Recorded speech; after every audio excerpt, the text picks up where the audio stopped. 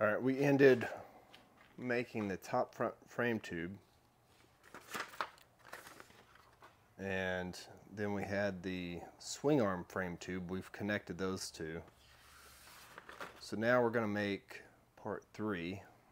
And this is going to be the top harness tube. This is what the, it's going to go across here. There's going to be two parts with a connection in between. And that's what we're going to connect the harness to. So that's our next piece to create. This is 7.21 inches long or 7.22, almost seven and a quarter. So we'll, uh, our threads are going to be two inches long. I know you see variation there, but we're going to keep those at two inches. And this is a three quarter inch tube, even though that says point Seven three here, that's what we were 3D printing, so it would fit inside the tube. We don't have to worry about that.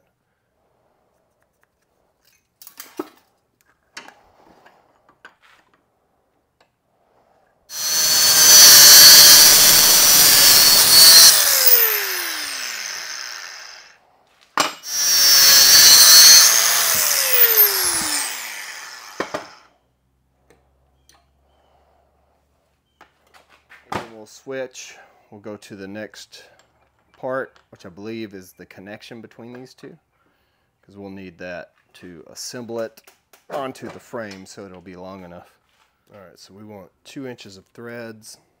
So we got two inches on either end. Let's go ahead and mark that. I should be able to thread that down to the two inch mark. So you can see the two inch mark there we'll thread that down on each one of these. It's just the hard part is getting these started. Once you get it started, it's pretty easy to do. So we may have to do this one in this direction. I don't have enough space to squeeze that without damaging the threads. Alright, so we got that one done. We're going to repeat the process with this one. So there's our two inch mark that we had already measured. And now I'm going to run this down on there, get these threads to form. Same process as before. Two inch mark. Yeah, can't really see it very well. We're almost on it. So we're going to do another couple turns. That should put us on there.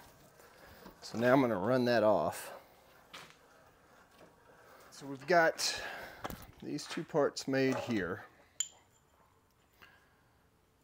And these are going to go into a connection. So this is done. Let's go to part four.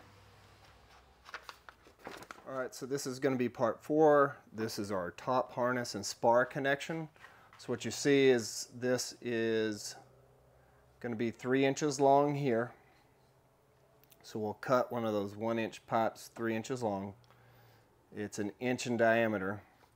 We're going to drill a half inch hole and then we'll thread that. These other two are just for pins or a quarter inch. So we'll just use a quarter inch drill on the drill press and then we'll thread the inside. Right here, these are gripping, but they're not gripping like they should. See, I can thread those in.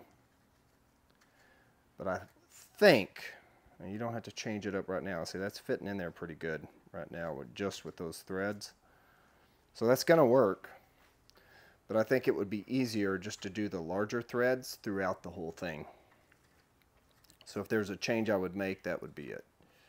Um, but right now...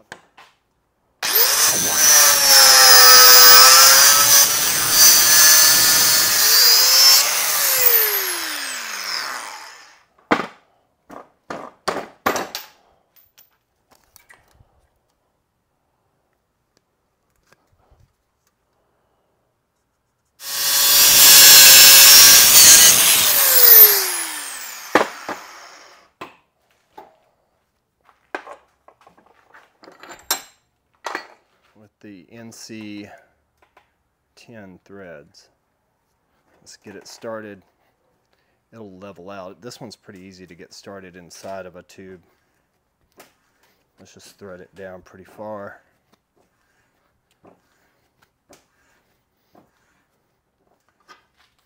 Alright, so we threaded both of those on. We need to drill a hole for the spar an inch and a half into this because this is three inches long.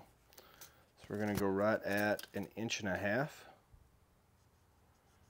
And that's where we're going to drill. Put a little oil on there. So what I had to do here is this piece I had already cut to three inches. I should have drilled this hole first and then cut it, but live and learn. So I took one of those three quarter inch pieces, threaded it into that, and then locked it into the tube cutter to keep it level.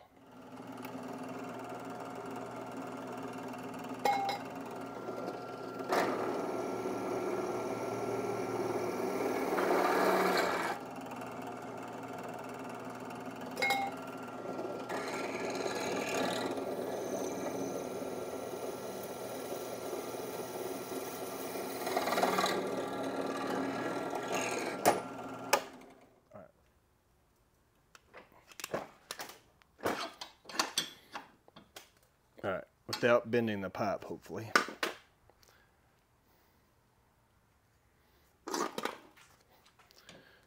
let's, let's at least get this started. And once we feel like we've got it started, then we'll put the level on top of it. And level out those first few threads.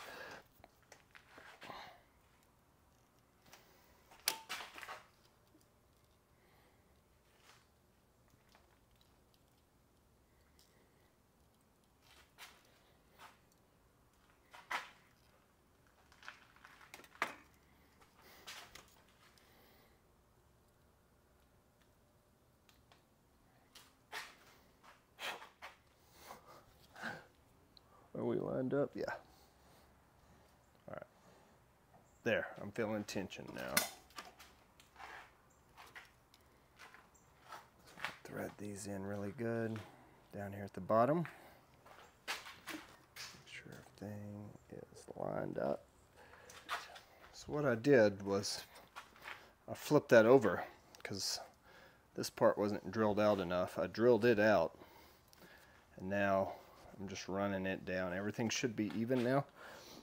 This one's going to be adjusted anyway. What I mean by that is we'll be able to rotate this back and forth. So as long as this is centered up, lined up, and that the spar can thread into it, we'll be good. All right, smaller threads. These are the, but these shouldn't cut as deep.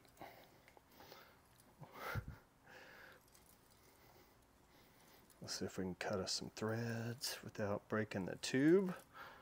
Yeah, these don't look like they're as deep.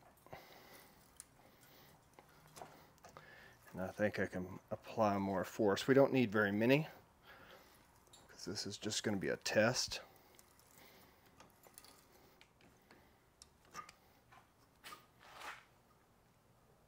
That feels strong. My worry was that it would weaken it too much, but that feels pretty good. Looks like it's threading in pretty good. Yep, it's threaded through to the other side. So maybe an inch and a quarter so that we don't have this little piece sticking out. I don't know, that might be good for a pin or something. So how this is going to work is when we have it up on the frame, we'll be able to adjust the angle just to where we want it. And that'll be in there nice and secure. This is the frame that we, the threads that we made last time, so we're going to thread these on. So I'm threading this one in. I've already got that one run down. I've got this run all the way over. This is going to come up. And then that's going to allow us to put the spar up here.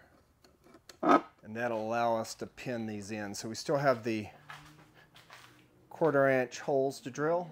All right, so I'm going to wait before I drill those quarter inch holes that you saw there because I want to have it fully assembled, have it at the angle that I want. I think it would be too difficult to kind of determine the angles until we have the hoop segments on. So we're, anytime we come up to anything that needs to be pinned, I'm going to wait and then we can do that later on.